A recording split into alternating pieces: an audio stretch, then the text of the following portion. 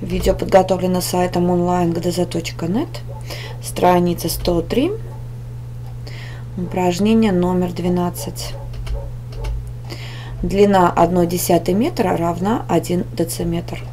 Давайте мы сначала выясним, э, сколько в одном метре дециметров. В одном метре 10 дециметров. Чтобы узнать одну десятую, нужно 10 разделить на 10, и получится 1 дециметр.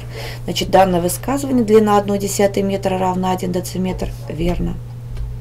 Если вам понравилось видео, смотрите остальные решения на нашем сайте. Если есть вопросы, предложения или пожелания, подписывайтесь на нашу группу в социальных сетях.